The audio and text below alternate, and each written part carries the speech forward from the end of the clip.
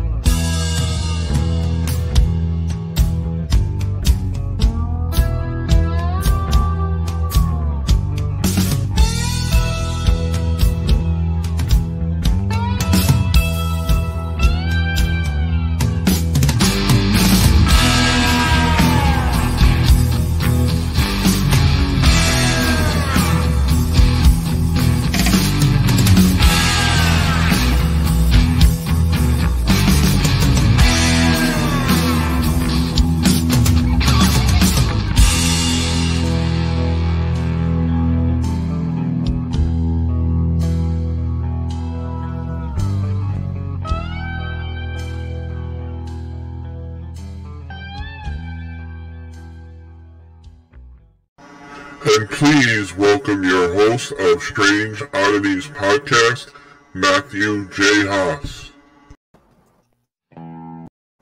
All right, everybody. Welcome to Strange Oddities Podcast. I'm your host, Matthew J. Haas. I'm excited tonight because we, of course, as always, every week we try to have an amazing, exciting guest on our show. We have a really amazing guest to offer our viewers and listeners tonight on the Strange Oddities Podcast. But as always, guys, before we go ahead and introduce our awesome guest, um, let's get this, you know, logistics out of the way, guys. We do have a po- um, we do have a web website. The website is strangeodditiespodcast.wordpress.com. Real easy. Um, there is a chat room if you follow us on Facebook or YouTube. Comment under the live Facebook feed or comment on our YouTube channel. Guys, as always, subscribe to the show if you if you could you know so kindly subscribe the little bell at the top right of our main youtube channel just click that little bell it'll take you right to the subscriber page um, it's pretty simple so guys um, we have a really interesting topic tonight. It's kind of dark um, in a way uh, but in a way like it, the topic falls into secret societies or a secret organization because um, you know strange oddities podcast isn't just about ghosts and supernatural. You know we cover a pretty broad variety of topics and mysteries and secret societies is one of them and i thought this would fall in that category. So I'm going to go ahead and introduce our nice guest that, you know, took the time out of her busy um, writing career to be a guest on the Strange Oddities podcast. I'm going to introduce Miss Gabriella Coleman. Gabriella, um, welcome to the show as I get you in here. Here we go. All right. Welcome to Strange Oddities podcast. It's uh, great to be here. Thanks for having me. Yeah, no problem. Um, for those who don't know Gabriella, I'm going to give them, if you don't mind, Gab, uh, just to give them a little short bio of your background uh, so they can learn a little bit about who you are. Uh, we're going to get, you know, into your background here a little bit. Uh, you know, it says here that you hold the Wolf Chair uh, in scientific and tech uh, technological uh, literacy at McGill University. Uh, you train as an anthropologist, and I believe you're a professor in anthropology. Uh, her scholarship covers uh, the politics, cultures, and ethics of hacking. She is the author of two books on computer hackers and the founder of editor of Hack Curio a video uh, portal into the cultures of hacking. Uh, you can learn more about the project here on her website, gabriellacoleman.org. All right. Um, and then it also says here she is currently working on a book of essays about hackers and the state and uh, well deliver material from the book uh, for the 2020 year Henry Morgan Lectures. Her first book, uh, Coding Freedom, the Ethics and Aesthetics of Hacking uh, was published in 2013 uh, with Princeton University Press. Uh, she then published a book, uh, Hacker, Hoaxer, Whistleblower, Spy uh, The Many Faces of Anonymous uh, in 2014, which was named Kirkus, from Kirkus Reviews Best Books of 2014 and awarded the Diana Forsythe uh, Prize by the American Anthropological Association. Wow, congrats to you for that. Oh, thank you. um, so that's a little bit about, um, you know, a really you know, brief background. There's a big long bio on her website. You guys can go check it out. Again, GabriellaColeman.org. Um, Gab, th- thanks for doing the Strange Oddities podcast. We have a lot to talk about. We sure do. We sure do. Yeah.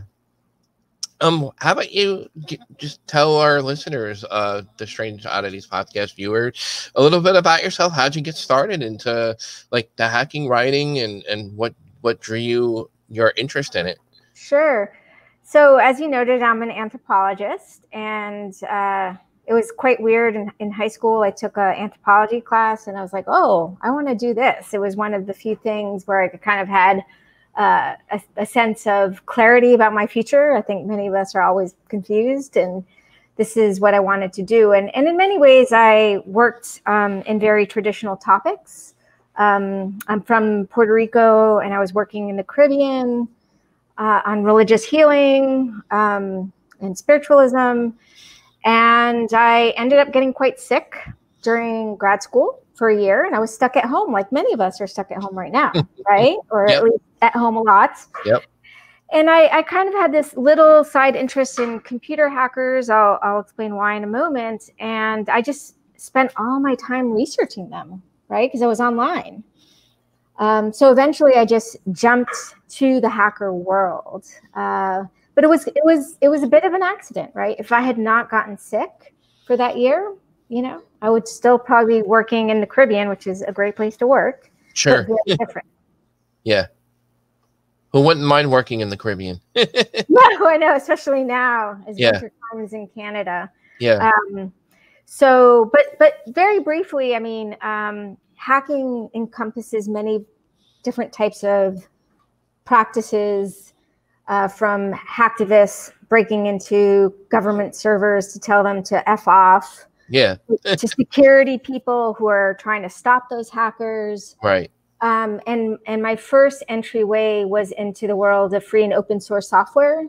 So people who made thing who make things like Firefox or Linux. Right. And I was just what what surprised me was that these hackers had reinvented the law. So instead of copyrights and patents, they created their own um, licenses. Mm. And I was like, oh, wow, these technical nerds are also re engineering the law. Mm. And that's what fascinated me. And, and, that's my first way into this world. Uh, right. But obviously, many different aspects of the hacker world sure. um, fascinate me. And I've researched many different aspects as well. Right, right. And of course, one of the biggest hacker organizations that's out there today and very widely recognized across the, the world now uh, is known as Anonymous, which is, you know, kind of, you know, what, you know, you're the leading public speaker of Anonymous. That, you know, your book kind of led you to that path now and, you know, your research and your background now. Um, you studied a lot about Anonymous and, you know, I, I like, I think he, like he's not just like one individual. He's like got a bunch of followers that now copy him, and you know, first, first people thought it was just one guy, and then oh. now there's a whole bunch, and there's a, like a, there's a lot that goes into it. Yeah, and it's not just he either. Right, right. but yeah, we should we should talk a little bit about what anonymous is. I you know a lot of people do know, but a lot of people may not even know what anonymous is. Yeah, if if you don't mind sharing what you think anonymous is because i know like some people think what it is but what your definition versus what others think he is. Because some people think he's a whist- you know he could be a whistleblower he could be a rebel or he could be a foe he could be somebody who's not good he could be somebody who is good. There's a lot of different things that he that he really you know gets his hands on as far as information so right. Give, give, give our listeners what you think he is. So anonymous is a name uh, that different groups and individuals around the world have taken in order to lay claim to various protests and activist actions. Mm-hmm. Uh, it's often identified with the Guy Fawkes mask. Uh, right. And people probably know who Guy Fawkes is. uh, because Guy Fawkes has been memorialized in movies like V for Vendetta and the graphic novel by Alan Moore. Um, but what's fascinating about Anonymous um, as a kind of protest collective is that it, it isn't identified with a single individual or gender or race. It's anonymous. Who's anonymous, right? Yeah.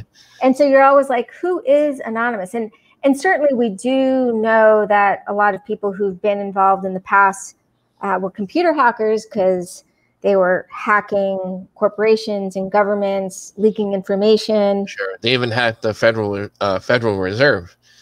Yeah. Um, and many people involved don't do hacking. They just are on Twitter or supporting through making videos. They're very famous for their videos. Right.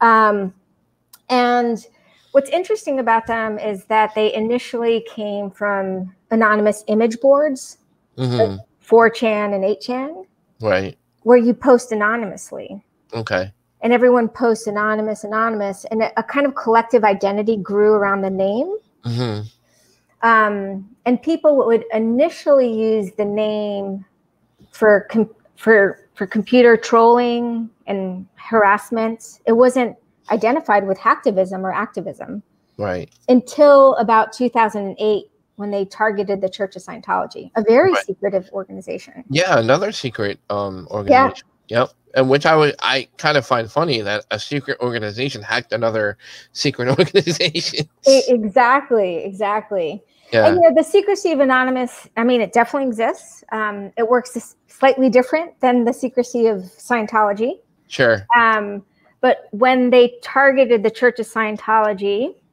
which was in 2008, and they targeted them after the Church of Scientology threatened um, journalists with lawsuits because a video of Tom Cruise Right. had leaked to the internet. Um, it's a very funny video. I recommend that people Google it. um, you know, uh, Anonymous decided to troll the Church of Scientology, you know, send them pizzas and do phone pranking, things like that. Right. But through the course of that trolling campaign, people are like, huh, maybe, maybe we could use our our um, tactics, our trolling tactics for good. hmm And then that's kind of opened the door for activism Right. and hacktivism. And then in 2010, 11, it exploded and and really converged with things like WikiLeaks. Right. Right.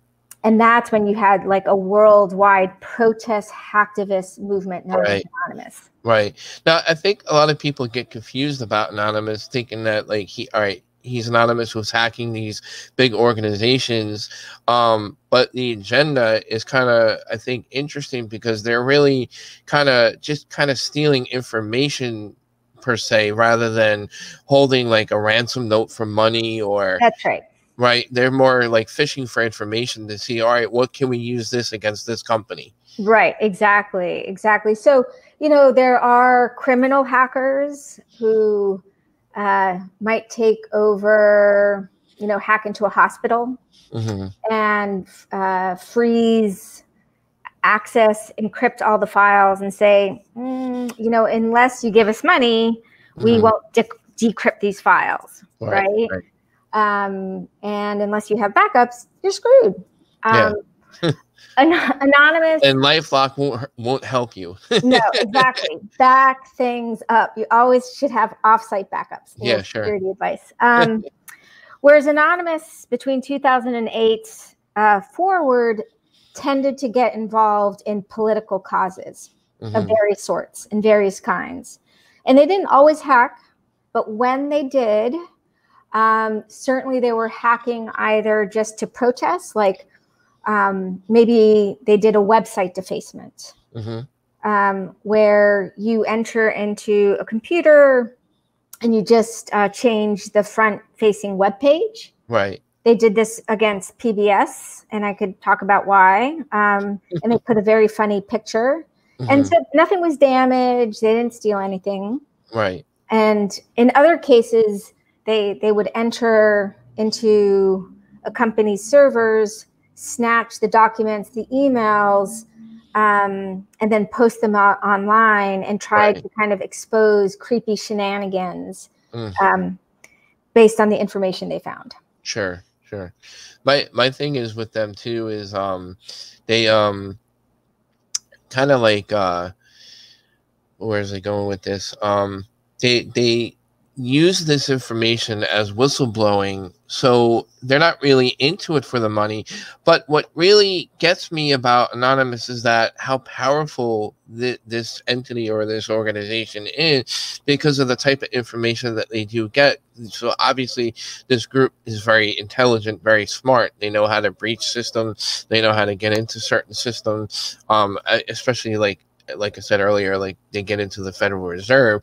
That in itself, you know, um, being that that's the Federal Reserve. Nobody breaks into the Federal Reserve, you know, without you know Homeland Security getting involved. But um, you know what I'm saying? So like, I I think he like he or them are very kind of like Definitely them. Definitely them. you're right. Them are very powerful in a way because of what they can get their hands into.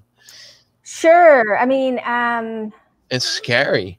It is. It is. Um, there's there's two things worth mentioning. I mean, certainly many of the people involved um, have tech skills. hmm Um, they're intelligent, uh, but it's also the case that a lot of organizations don't have good security either. You know, Right, right. and so you don't have to be like you know a mad genius to break into these things. You do definitely have to have resolve and commitment and skills and capacity and maybe um, you know it's super risky as well Sure. right and and i think like some of them weren't thinking through some of the implications because because many did get caught many got arrested I was just gonna say there, there Yeah. were some that got arrested. They, you know, they were, weren't that smart because they got themselves arrested. exactly and many were quite young as well like one of the um, uh, really really generative groups was called lulzsec l-u-l-z uh, sec so lulz like which is a bastardization of laugh out loud and sec for security right. um, there were roughly six maybe a little bit more people involved and they okay i'm gonna tell two stories Okay, sure. okay That's what we're here for. yeah. Um, so one is very brief, which is they they hacked almost something every day for 50 days. Oh, wow. Yeah, it was like they were they were like rock stars on tour. You know, it's like Metallica. Yeah, like- yeah. Um, Let's see, let's see. who- Let's see who we can hack today. Yeah. Exactly, and and a lot of the targets were not um, politically worthwhile. They were just like laughing at their security. Come on, you know, like what are you doing? And we're taunting them. Yeah. Exactly. And they weren't causing damage. I mean, yes, yes, these companies had to expend resources fixing things, but they were clearly not doing it in the first place. Right. Right. Um, so that's when they became very, very famous. Um, and again, there were some very, very kind of politically worthwhile hacks as well. One, which I'm going to now tell a story of, Sure. um, was pretty funny. So um, PBS Frontline released a documentary about Chelsea Manning, hmm and Chelsea um, had a lot of support and has a lot of support in the hacker community. hmm Uh, and people were not happy with the documentary. They felt like it was a bit sensationalist and didn't go into the issues. Right. So they, they hacked PBS Wow. and they did a website defacement. So they wrote a fake article and left it on the front page. And the article was basically that Tupac Shakur and Biggie Smalls, who you know have been Huh. killed, were really alive and were found had been found in a small town in New Zealand, hmm escaping celebrity. Right. And it was really well done. So like, kind of people knew it was fake. But hmm people were like maybe they did try to kind of escape people think. Yeah. yeah so it was, it was very funny and that's the thing they used a lot of humor Love Yeah. very famous for being funny Right. um, and that's why a lot of people even people who weren't necessarily like into the politics would follow them they were Right. like a performance um, Yeah. brigade Sure.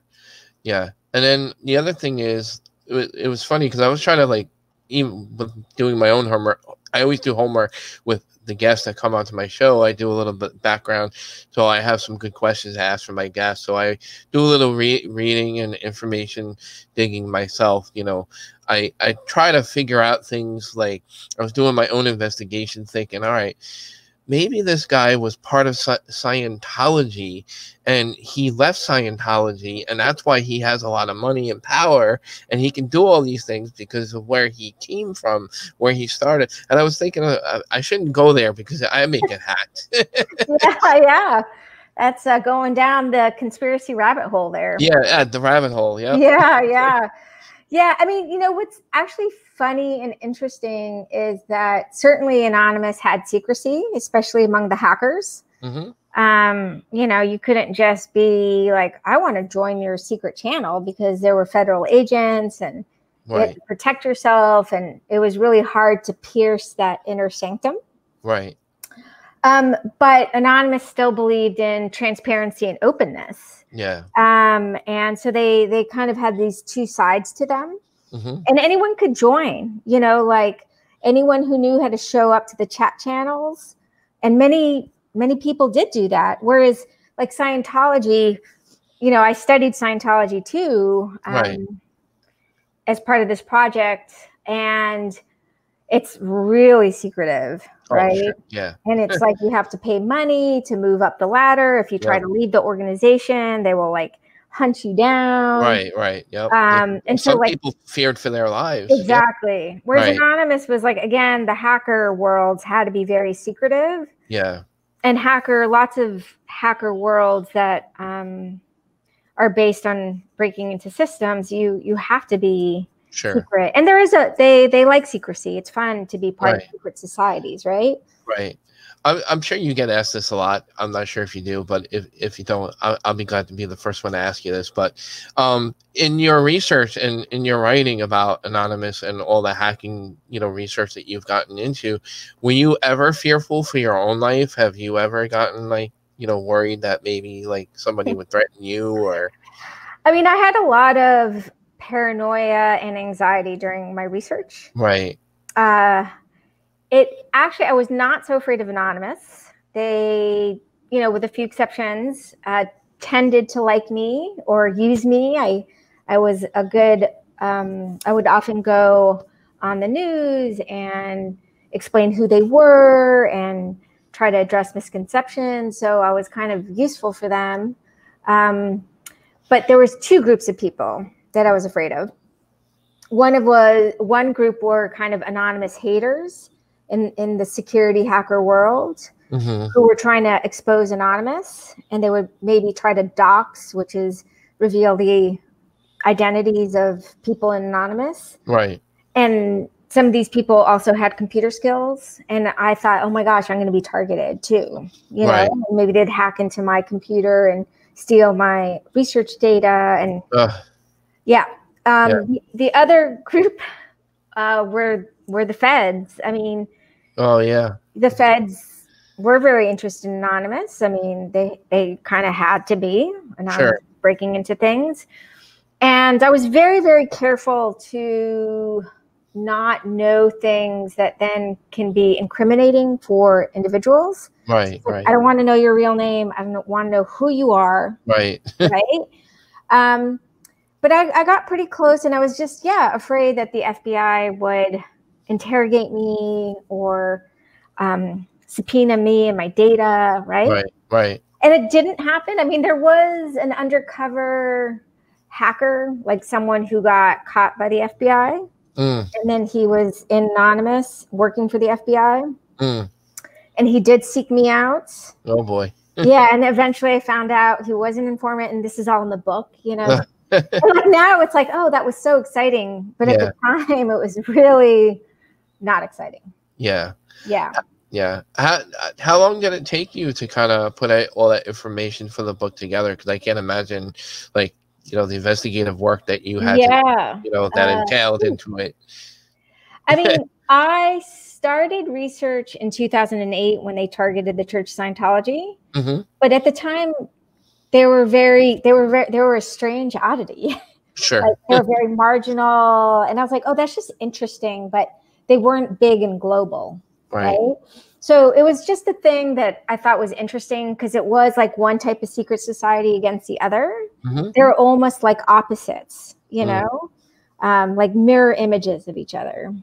Um, and so then in 2011, when things got really, when they were prolific, I, I was chained to my computer every day Wow. for like five hours a day following them Wow. for over a year. And I was on sabbatical, so I had a research leave, so I could do that. hmm And then for a few more years, I continued to research them and divide it between research and teaching. And I just amassed massive amounts of data, yeah, between 2011, um, 2010, 12, 13. And I started to really kind of earnestly write in 13, but it was super overwhelming. Yeah, I'm sure it was. yeah i was like oh it's so hard to write about this world and and and unfortunately what helped was that people got arrested Yeah. and i was able to to meet these people and verify lots of things you know what i mean Right. right. the course of the book definitely changed as lulzsec they were arrested I, I, would go to the trials of these young hackers and in Yeah. ireland visit them in england visit them in prison in the united states Wow. yeah, and that's Yeah. all in the book as well. Sure. Sure. Yeah. So it was kind of like uh, a, a lot, a lot of time in the making. Many, many years. Yeah. Yeah. And I do feel like often if, you know, um, if you're really, really doing kind of original research, hmm um, it often t- takes years to do Yeah. the research. And and then actually, I mean, the writing, weirdly enough, was was quicker than I anticipated. hmm Um, but that was only because I had done so much research Right. and had worked with my data uh, Right. very intensely as well. Yeah. I can't imagine. I I always wanted to write a book. I've never written a book before. I always dreamt of doing one someday. Maybe But- you will. Yeah, maybe, uh, Yeah. maybe I will, maybe I not. I mean, Yeah. you know, Don't feel I- bad if you don't. It's Yeah. overrated. yeah. I just, I like, I, I've attempted it before. I like get so far, and then I like have a brain freeze, and then I'm like, I don't know, Ugh. like where to go from there, and then It's so hard. I know, and then I try to go back to it, but then like, and then I forget about it, and then, you know, I I- that's why I really respect writers because of how many books you guys put out, you know, and and what you guys put in there. All that hard work shows in the book, you know.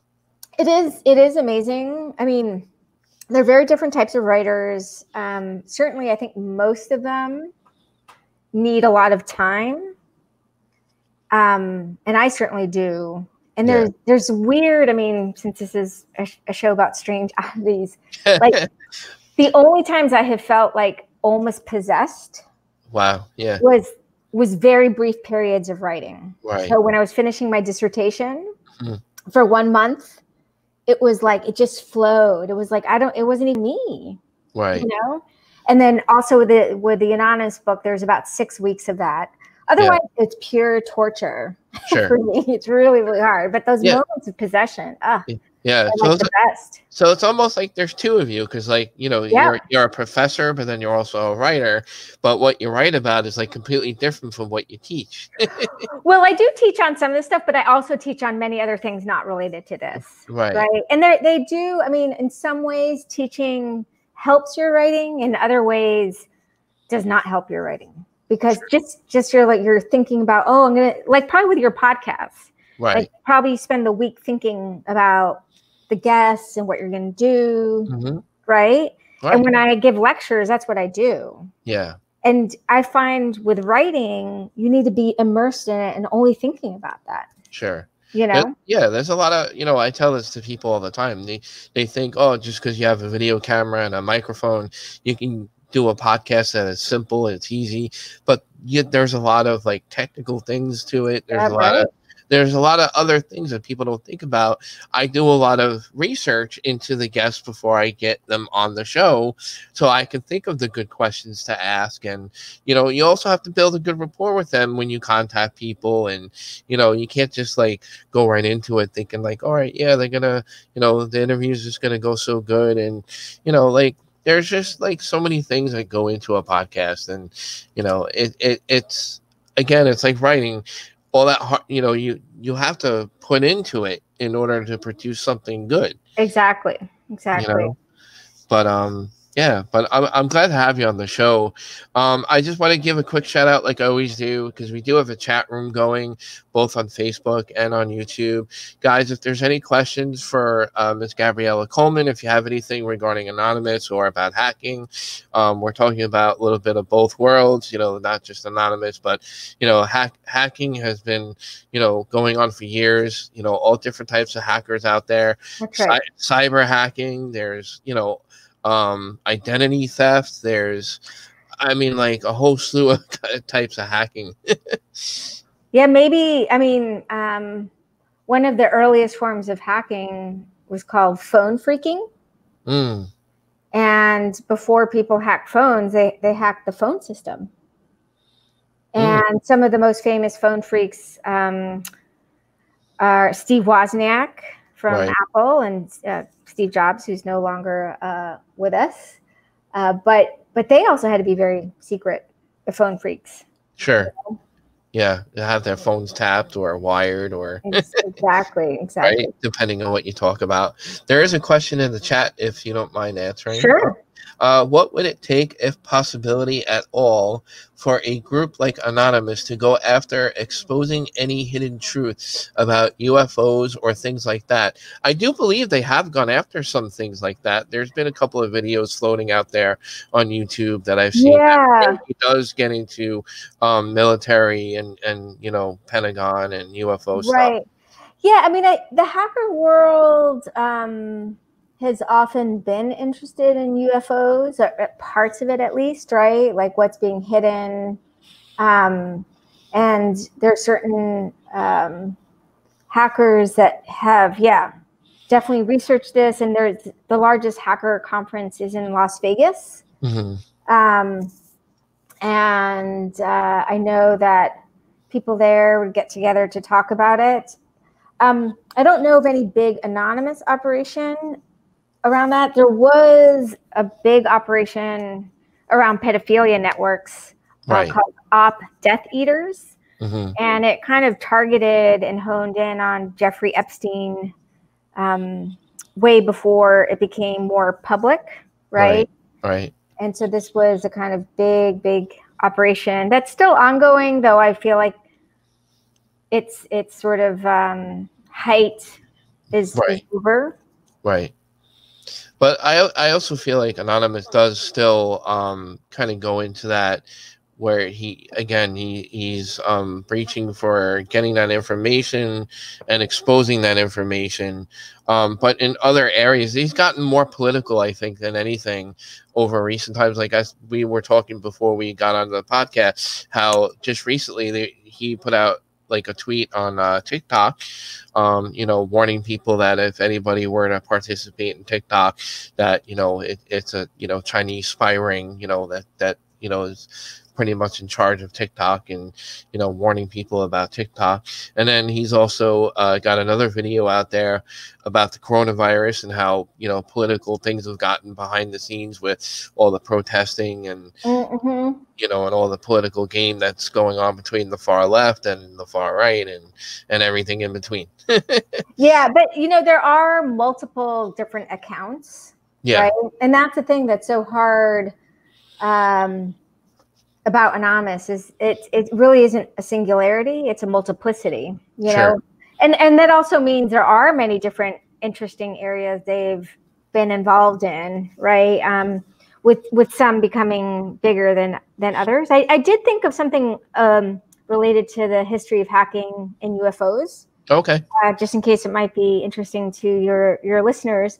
sure. Um, but Gary McKinnon, who is a British hacker, broke into U.S. government servers a while back, and he was looking precisely for evidence that the U.S. government had about UFOs.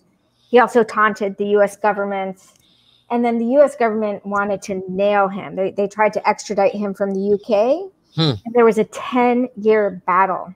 Wow. Yeah, and ultimately uh, he won, uh, and they made a defense based on human rights and disability um, arguments. He he has Asperger's, um, uh, more commonly, I guess, referred to as autism today. And sure. his mother is like, look, if, if he gets jailed in the United States, he's going to suffer.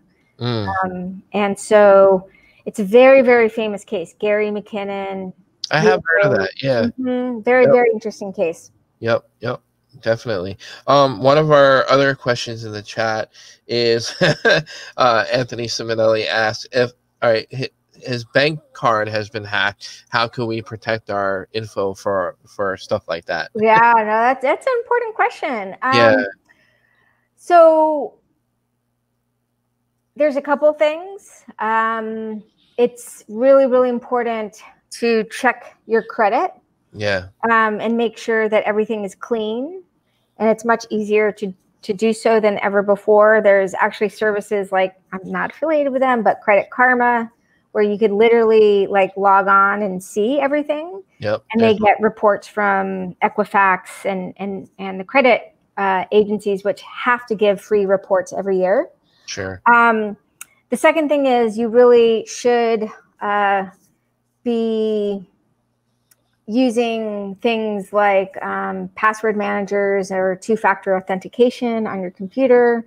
Mm-hmm. Uh, routinely change them, right? Because security is, is a process and, and sort of just like, you know, having good health requires you to exercise every day. Like sure. security is not something you can just do once, right? Mm-hmm. Right. Um, you have to, you know, constantly monitor your credit, make sure that nothing has been, no uh, identity has been stolen. And then if you have good sort of security management on your devices and computers, right? There's less chance that someone will hack into your devices and computers. Because right. that, that can be a real disaster. Like with a bank card i mean uh, credit cards are the best because yeah. Those numbers yeah exactly. they're, they're they're vulnerable. Exactly. But you know you really don't want someone hacking into your computer um, and then getting access to your bank information right because once the money is taken, like banks can't necessarily always return them, right? Yeah. So really, really important to have extremely good password management. Yep. And and use passwords and use um, you know forms of security on your devices as well. Yeah, absolutely. Uh, it's funny because I mean it's not funny, but it's a serious you know part of the conversation. But um, my wife always laughs at me because I'm always getting mad at like my passwords that I have I'm like old things, and I can never remember half of them. I try to. I always try to either make it the same or something I can always remember, make it simple. And right. I'm always getting like I'm like, I get frustrated. I get high strung, and I'm like, I can't remember my password. Yeah. And I get mad at like you know the software company or you know the thing I'm trying to log into. But like in a way, I really can't get mad because they're trying to be secure. That's right. And and there's things you can do. Like one thing, if you like your own passwords, is to get a password manager. Mm-hmm and you save all your passwords there and like log into it, extract it every time you log in. Right. Um, and then make sure that password manager is under a password you remember and, and yeah. is locked. And the other thing is you can use programs that auto generate really, really complicated passwords. Right. And then um, it's almost like an extension that you use. Yeah. Right. I'm not, a, I'm not as, they're, they're really good uh, but I worry about those a little bit. Um, right. So having at least a place where you store all your co- more complicated passwords, especially for the things that matter. Sure. Right. Anywhere where you have banking information, financial information, health information. You know, for for for certain things, it's sort of like, you know, there's less risk. Mm-hmm. Um, but but one should always be thinking about it. And yeah, they do make it tough, but that's a good thing. Yeah, right? no, definitely. And let's face it, everybody's doing everything online. Like, that's right. You know, we were talking about that before the podcast a little bit. You know, everything's online, online, online. You know, online banking, online this, online that, and most people like do everything online. And like like in the old days, you, you, used to have to go to the bank in person. You know, you have to write out a physical check on paper. You know, we didn't have debit cards. You know, we didn't have any of this stuff that we could easily access to on our laptops or computers. Right. And you know, let's face it, computers and laptops with all these hackers are very vulnerable. Right. And there's th- other things you can do, like change your bank card. Mm-hmm. You could you could do it more often than when they expire, and Sure. um, but I do I do think like checking in to see your credit is one of the most important things because it will tell you if any accounts are in Yeah. your name. Yep. You don't want to go in there and go like, oh my god, there's a house in my Right. name that I didn't buy. Right. Yeah. My wife and I just recently, I think like a year or two ago, um, our one of our things got I think our accountant or somebody that we know that handles our information, like as far as like our taxes and stuff, I think got hacked into. Mhm. And then just in case as an extra measure, we joined um Experian to give right us to right to give Yep. us notification That's right. just in case something were to happen. Right. And if if you get hacked, you absolutely want to um you know sign up for a service like that, which actually like if if it was a company what that was responsible for the breach, they should pay for it. Right. Um you could also freeze your credit too. Yeah. Freeze everything for a year or Right. a period of time. Right. Um so there there are things that people can do, you know. Sure. Sure. But yeah, Anonymous showed like, um, again, many of them were not hacking for profit or No. to, to cause damage. But what they they did show was how easy it often is, right? Yeah. And it's gotten better. It's certainly gotten better, um, but there's still a lot of a lot of problems Right. and security Well- vulnerabilities. Well, not only that, like I again, like with all the activists that are out there and all the um bad things going on with the rioting and and you know the political stuff that's going on during this pandemic. Um i mean what i'm afraid of is certain organizations like anonymous can um form new secret organizations or influence or kind of like put guide people into doing stuff like that like Mhm. Anti- like antifa for example. Now we have antifa to worry about you know what i mean Yeah, I mean, I I think that um, you know hacking is so risky uh, that there's not too much of a danger in that. Right. Um, and the you know there's really two types of hackers to worry about, which are the criminal ones, yeah right? Um, and and even the criminal ones, it's they're not targeting you because you are you yeah. They often come from parts of the world where you know they're just uh, figuring out how to redistribute wealth. Right. Right. Um, and yes it's terrible that people get targeted right? Yeah. but they're not there to destroy your life. Sure. Um, but you do have to kind of worry about about those. And then there's the nation state hackers you Mhm. know? I mean that's a big deal. Right. Um, and we know that uh, Russia probably hacked um, the U.S. government in 2016. I think we're going to see more sophisticated nation-state operations over Yeah. the years, and that's that's also very interesting. That's very that's very hard to understand and follow. You know, Sure. because it's national security and intelligence. Um, and uh, that information is not necessarily forthcoming. Sure, sure.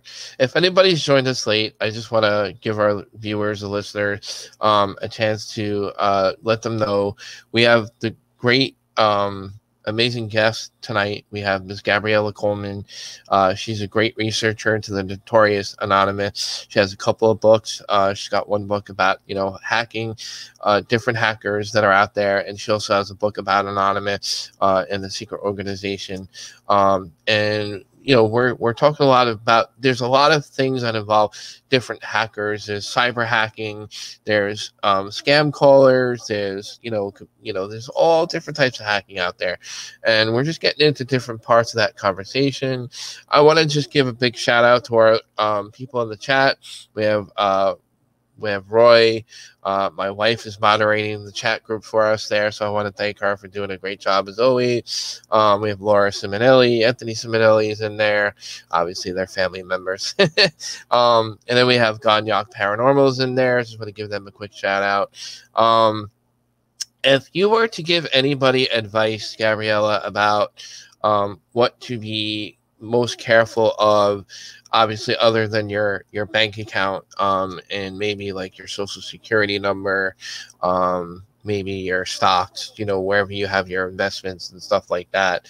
Um, how would you, you know, what would you tell people about, um, you know, as far as like big hackers and breaching information? Sure. Well, there's there's yeah the risks that come um, from breaches where information from social security numbers to bank information gets stolen um, so there's that sort of problem another problem um, is actually a little bit more individual and and it's not so much hacking but i think there's a lot of security hackers um, trying to solve this problem which is you know, people are often in relationships.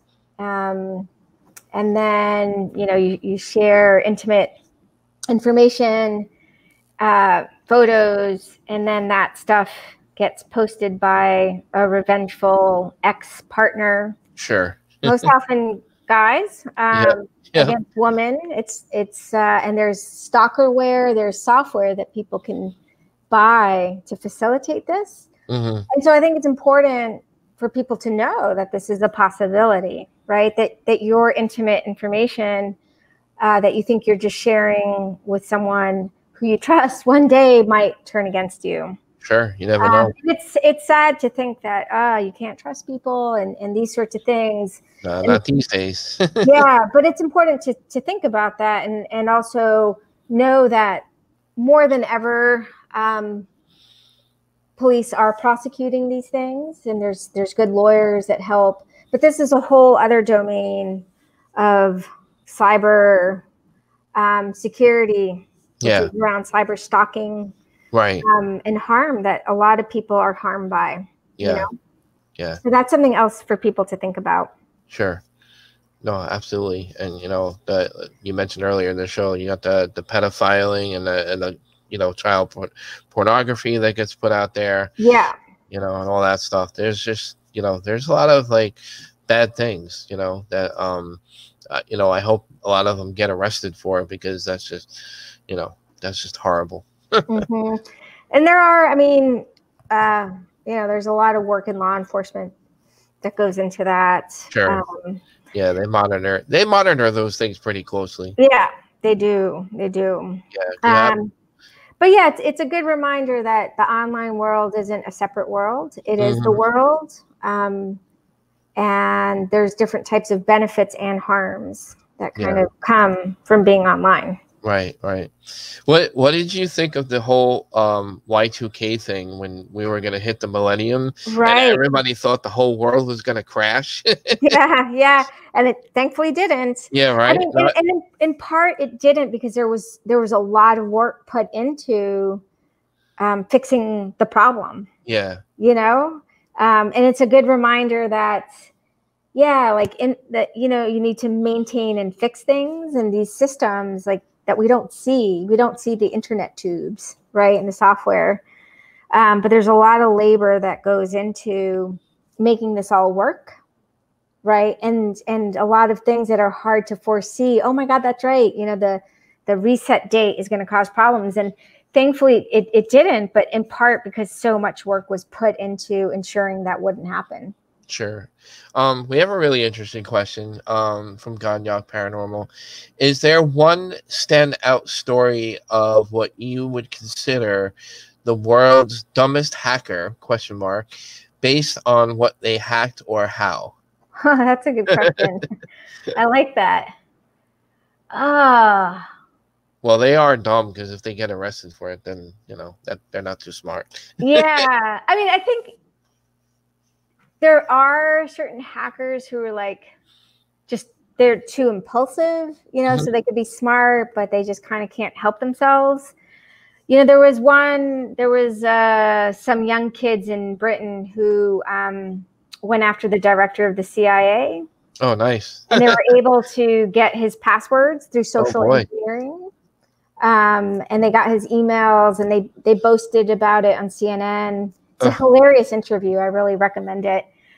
Um, I mean, you're 15. You know, Right. you're mucking around. It's it's and they they admitted, look, this isn't too hard, and we're not that smart, but they got a kick out of it.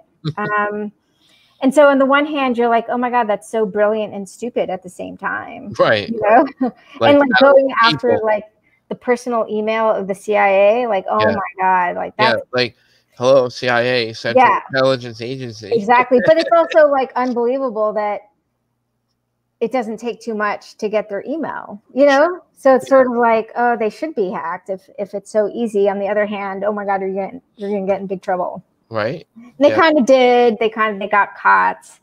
Um, so there's a lot of examples like that in the kind of history of hacking. I mean, one of the most interesting things, and a lot of some of this history is on the Hacker Video Museum website, Hack Curio.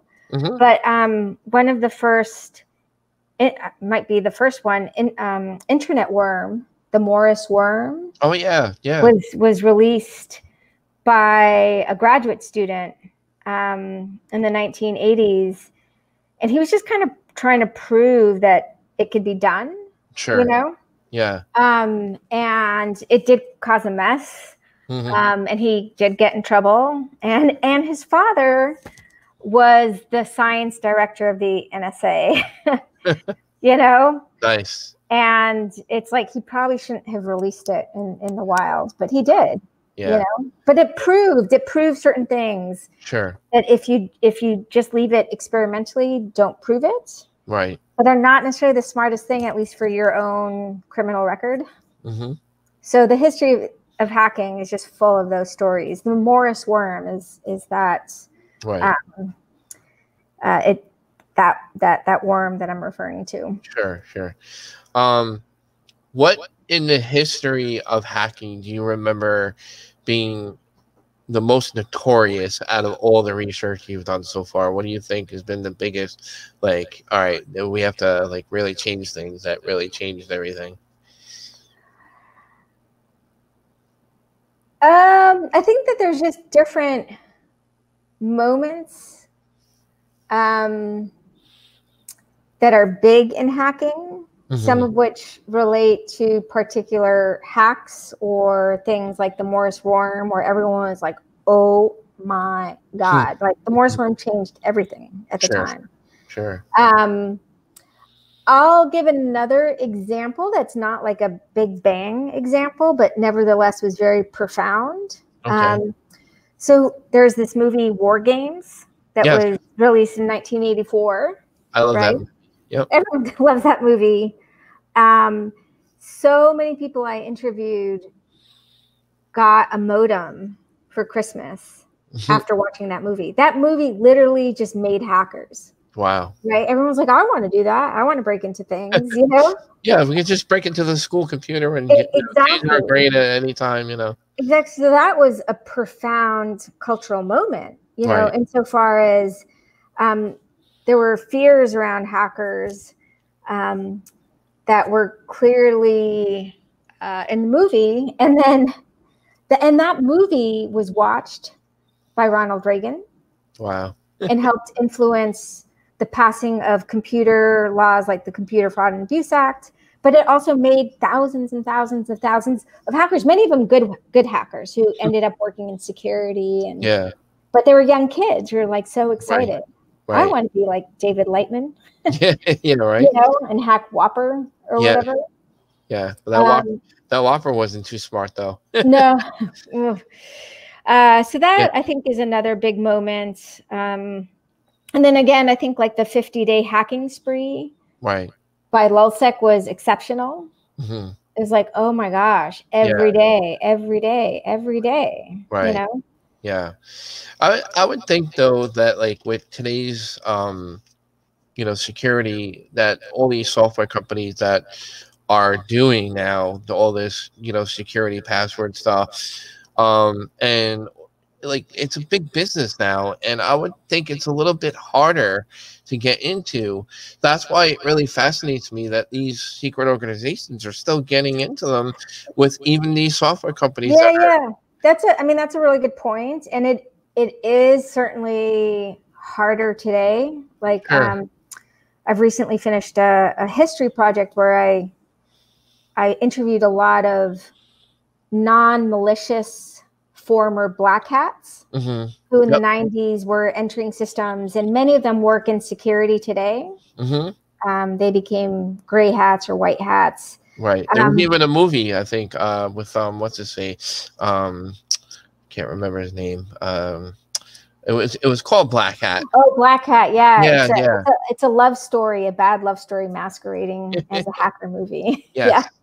um, so a lot of them work in security and you know many mentioned that it was much easier to write an exploit for example right. um, and today to to write an exploit uh, which is basically a piece of code that lets you take advantage of a vulnerability to enter into a system it's much much much much much much much harder to write today Sure. so security has improved there's firms there's practices but but everything's online right. everything's online. So on the one hand, it's gotten better. On the other hand, there's a lot of low hanging fruit because you know what? Universities and hospitals and nonprofits um, can't necessarily afford good security, right? right. And even a good big organization that can, mistakes are made. And and you know, banks and credit cards are really really good hmm until recently retail wasn't that good you know there was a period of time where like target and home depot and all these places were getting hacked like crazy um, but now they are investing more resources right Right. so yeah it's it's both better but because everything's online there's still a lot of opportunity Sure. Right. Sure. There's still that open door. There's still that back door, or you know, whatever. exactly and sometimes it's technical and sometimes it's social like you you enter because you you trick someone into giving um, they give you their their password that's Sure. still very very common it's called social engineering Right. Right.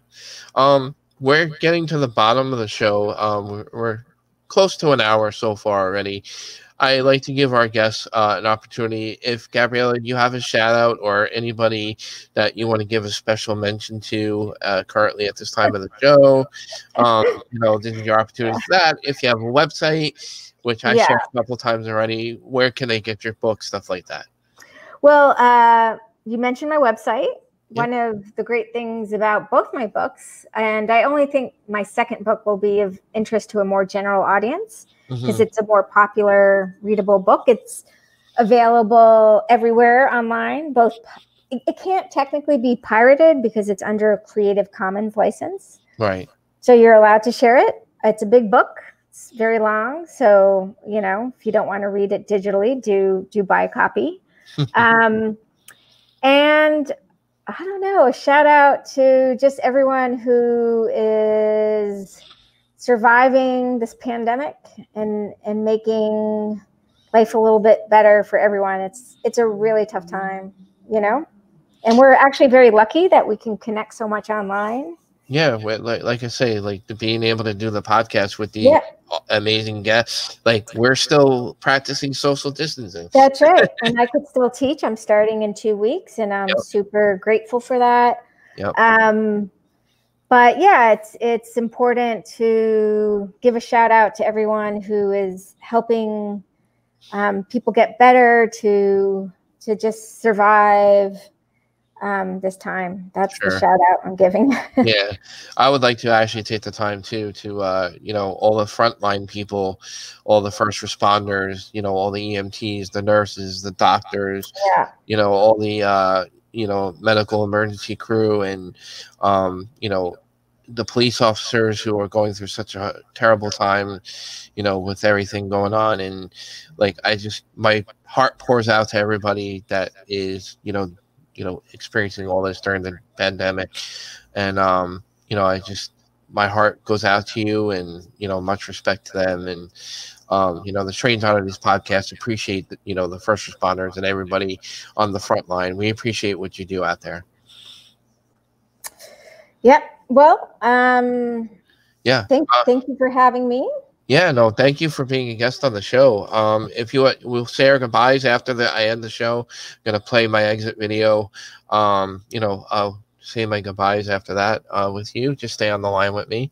And, uh, all right, great. Um, guys, uh, we were we had Gabriella Coleman, uh, author, uh, researcher into the Notorious Anonymous. I hope everybody really enjoyed our conversation. It was a really insightful conversation. It was like, I like my brain is like, yeah, it was really great conversation. I really appreciate you being on the show.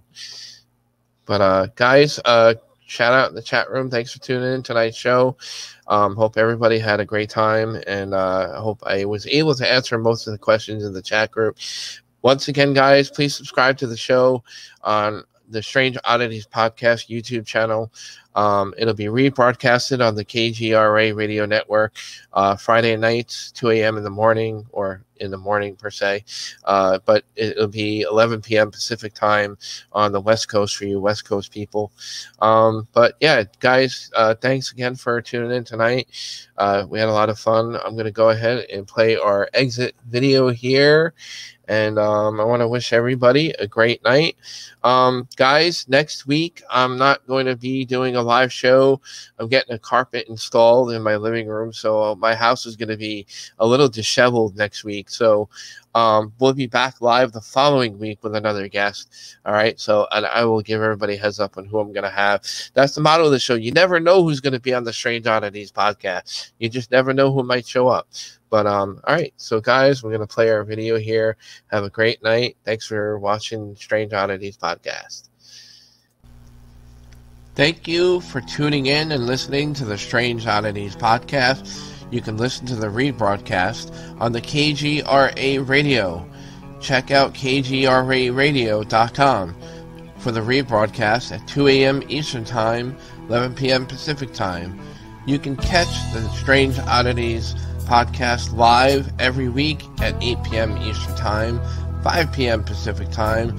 Please follow our YouTube channel for our live weekly show at 8 p.m. If you like the show, please give us feedback. Email us at strangeodditiespodcast at gmail.com. You can also visit our website, strangeodditiespodcast.wordpress.com.